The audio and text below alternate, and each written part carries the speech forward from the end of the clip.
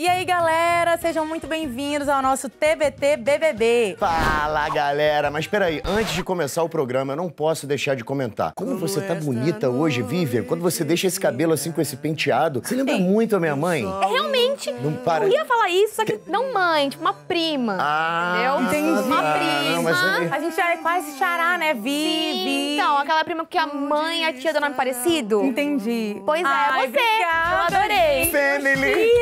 Family! E é nesse clima de reunião de família que a gente recebe essa jogadora nata. Bem-vinda, Vituba! Ei, gente, cheguei. Demorou, mas vim. Demorou mesmo. Demorou, mas graças ao seu jogo ali que arrasou. Inclusive, agora a gente vai ter um momento de ex pra ex, tá? Vi, você já teve tempo de ver algumas situações que você viveu lá na casa, mas hoje vai ser especial. A gente tem aqui uma expert em BBB, a nossa Vivi Amorim, que vai analisar esses momentos junto com você, beleza? Organizando a minha escala de amigas. É tão diferente no meu coração a minha amizade com você e com ela. Não tem nada a ver. A Juliette, pra mim, é aquela amiga. Sabe aquela amiga que você tem e que às vezes você, tipo, bloqueia no WhatsApp, não aguenta mais falar com ela, daqui a pouco você volta e ah, você é amiga de novo, aí você fica, tipo, vou dar um follow no Instagram, agora eu vou dar follow de novo. E é uma, uma amizade cheia de, de, de conturbação. É a amizade que eu tenho com a Juliette. Que não é leve, leve. É, que sempre tá ali, mas que sempre tem alguma vírgula, assim. Quando tá bom, tá muito legal. Mas quando também está com, tá mal, também não tem meio termo, sabe? Agora com você é aquela amiga que, cara, se estiver mal, vai estar bem. Você é a melhor amiga da história. E a Juliette é a amiga que acha que é a melhor amiga, mas não é. Ó, sendo bem sincera, era o que eu tava sentindo no momento mesmo. Acho que se eu não falasse, eu ia mentir. Então, era o que eu tava sentindo. Acho que eu fui grossa, acho que eu fui injusta, acho que não precisava de tanto. A última frase ali, acho que foi a pior. Mas era realmente o que eu tava sentindo. E a, a Juliette e eu, a gente tinha uma amizade muito boa, mas a gente também não se entendia. Por quê? Porque ela é muito madura. Ela é muito madura. Eu não sou, gente. Eu sou bem imatura, teimosa. Eu sou, às vezes, injusta. Eu fui muito injusta com ela em alguns momentos e eu sei disso. Então, assim, valorizo muito a nossa amizade. E aqui fora, infelizmente, aqui fora eu percebi algumas coisas que lá dentro eu não percebi com os mesmos olhos. Isso acontece muito. E é ruim, é triste, mas é verdade. Já desbloqueou ela? Já Nunca deu nem follow de bloqueei, Ah, nunca não nem sei, bloqueei, gente. nunca você nem falou lá que bloqueei. bloqueava. Não, aquele momento realmente a gente tava brigando muito nessa época, no quarto do líder, a gente tava brigando muito. E eu sempre vivi nesse meio de Thaís e Juliette, aquilo me deixava louca, era insuportável. Então, eu acho que talvez eu poderia ter sido um pouco mais calma e conseguido administrar melhor as minhas situações ali. Mas realmente a Thaís foi uma conexão que eu tive lá dentro, bem depois no jogo, mas que eu valorizei muito, porque ela tem um jeitinho igual o meu, assim, dessa parte mais bobinha, eu assumo, tá, gente? As duas, a Thaís sabe, né? Nenhuma novidade, amiga, aceita, é porque dói menos.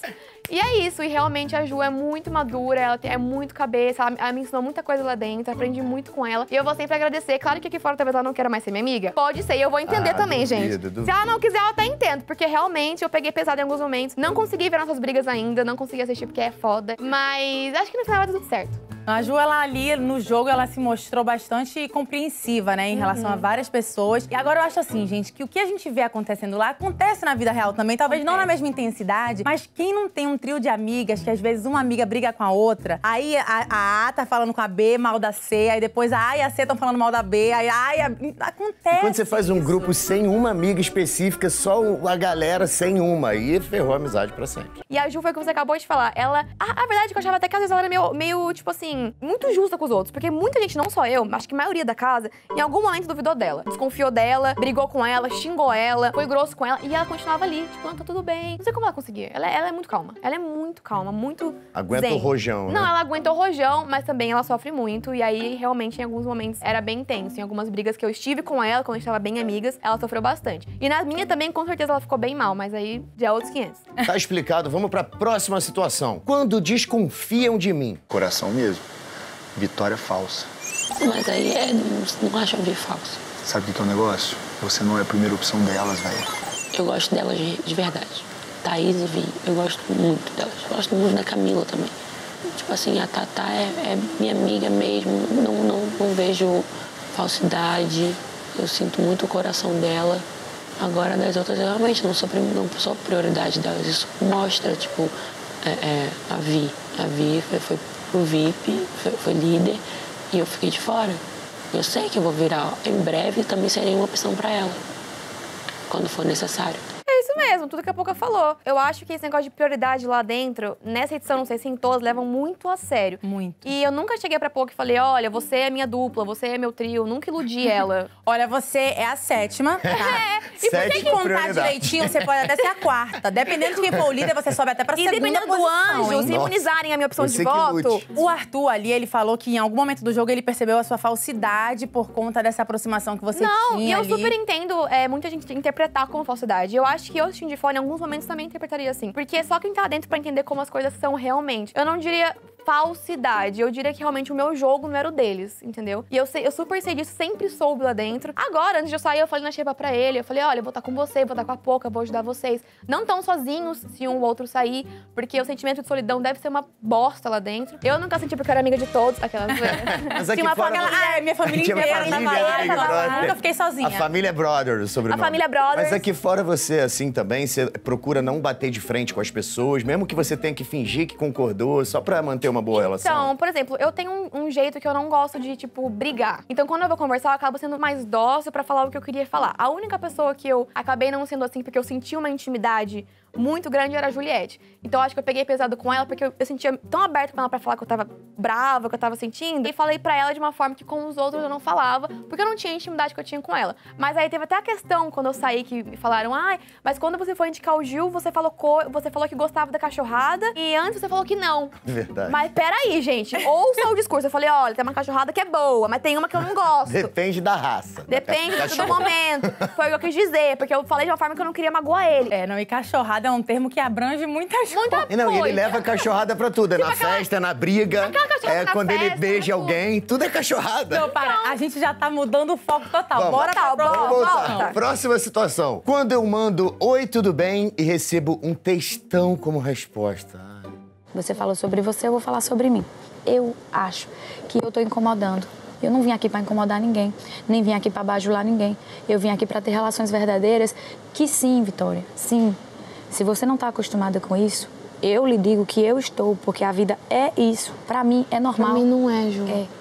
Você tem direito de sentir, de achar tudo. Você tem direito de tudo. Você só não tem direito de ficar me tratando mal. Em relação a essa conversa, eu realmente. A gente tem um jeito muito diferente de levar as amizades. Não sei se é porque tava dentro de um jogo ou se realmente aqui fora a gente é diferente com as amizades mesmo. Mas quando eu tô muito assim com alguma amiga, eu fico preocupada, sabe? E ela não, ela via como uma força. Tipo assim, calma, uma coisa ruim pode nos fortalecer pra uma coisa depois. Eu não enxergava assim lá dentro. Aqui fora eu tive amigas que já foram assim. Mas a maioria, quando a gente tá mal, a gente dá um tempo, a gente dá uma pausa pra não piorar a situação. Ela gosta de conversar cada briga. Gosta, gosta. Ela gosta Vocês de são conversar. assim? Como não, é a que vocês Bia, ela já bloqueia rapidinho, dá uma bloqueada, depois volta. Deixa eu ela não falando bloqueio, sozinha. eu só fico tipo assim, calma, depois a gente conversa, não tem É. que respirar, tá Ah, arrependido. Eram duas amigas morando juntas. Era, a gente não mora com as nossas amigas, Não né? dá pra a gente dá bloquear. um tempo, vai cada uma pra sua casa, que nem relacionamento. É. Mas quando eu saí aqui, a minha mãe conversou comigo muito sobre isso. Falou, filha, eu entendo o que você quis dizer, eu entendo como você leva as suas amizades, mas se você acha que a sua amizade vai ser flores todos os dias, não vai.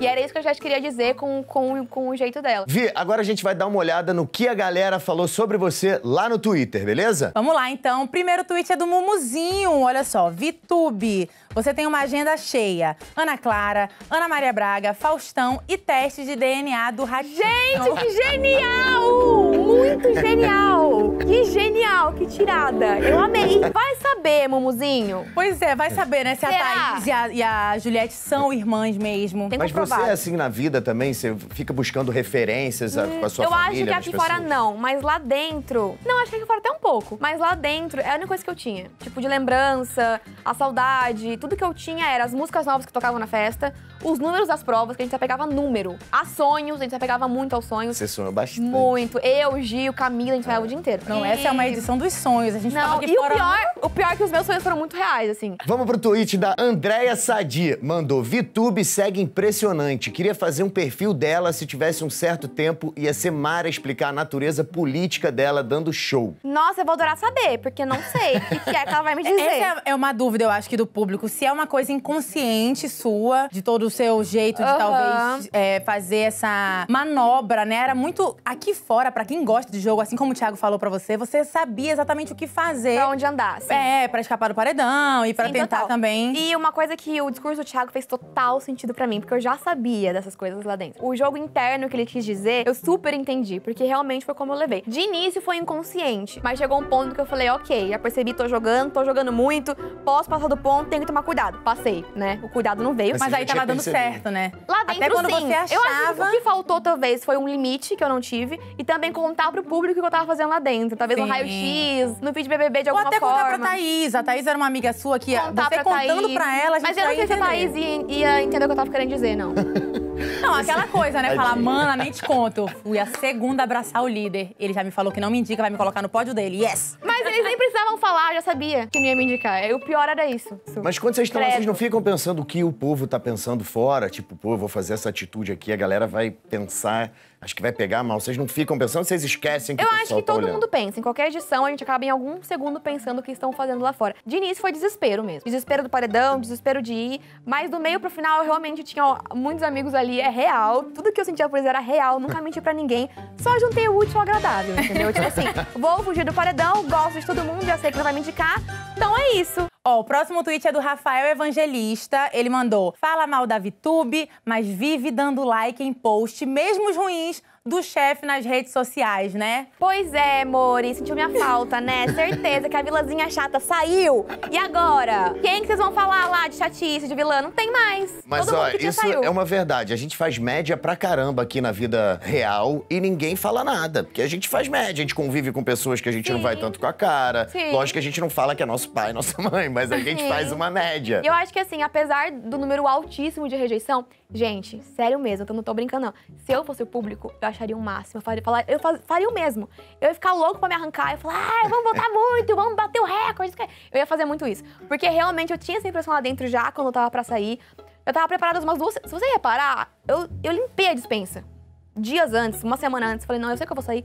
E não era porque eu tava só com achismo, que nem o povo achava na casa. Realmente eu sabia já o que tava acontecendo. Não na proporção que estava, mas sabia. Tava com medo realmente de ir pro paredão. No final, Ela tava já no preparando a final não tinha mais pra onde eu correr.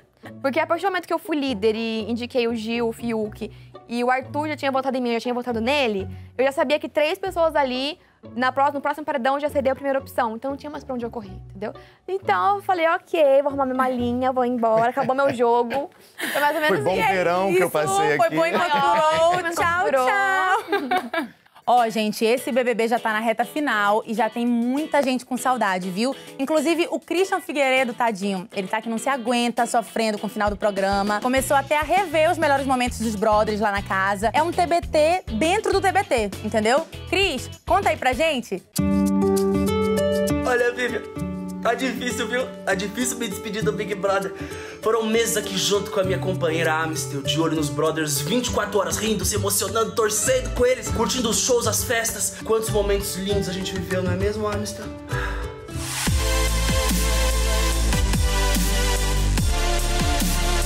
Aquele dia na festa, você tava que tava, viu? DJ famoso, tudo com tema de Amsterdã. Olha, uma puro malte legítimo e no capricho pra ninguém colocar defeito, viu? A gente dançou a beça aqui em casa, você lembra? Você lembra como que a gente dançou aqui aquele dia? E as dancinhas que eles faziam lá na casa? A gente ficava tentando imitar aqui, você lembra? Eu tinha uma que era assim, ó. Uh! Tchac, tchac! Vocês sabem qual que é, né?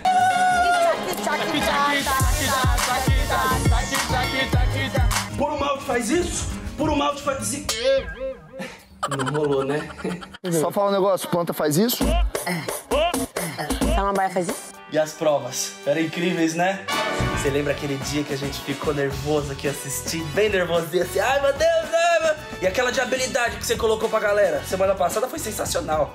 Seguinte, essa temporada realmente ela vai deixar muita saudade. E agora eu quero saber de vocês, quais os seus momentos marcantes do Big Brother, viu? Dá um pulo lá no Instagram de Amistel pra me dizer o momento que vai ficar marcado na sua memória, fechou? Abraço, Vivian! É nóis!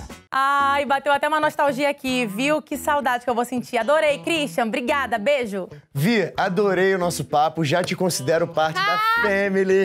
Para de mentir. Irmana, Tá Irlana, Vida tá- é louca. tá vendo? Bruno Tube, vida é louca. Gente, Feitiço virou contra o feiticeiro. Agora é ele que quer te colocar na família, tá É. vendo? Mas, ó, brincadeiras à parte, Vi, foi um prazer te ter aqui com a gente. E de verdade, você jogou mesmo e marcou essa edição. E olha, você que tá assistindo a gente já sabe, né? Todo dia tem 45 minutos minutos de BBB ao vivo no Multishow, depois do programa na Globo. É isso aí, ó. Aproveita, já se inscreve aqui no canal também, viu? O Momo Show pra acompanhar todos os vídeos do BBB nessa reta final. Já compartilha, dá like. A gente aceita aí o seu biscoito, tá? Valeu, galera. Beijão. Tchau, tchau. Beijo, obrigada.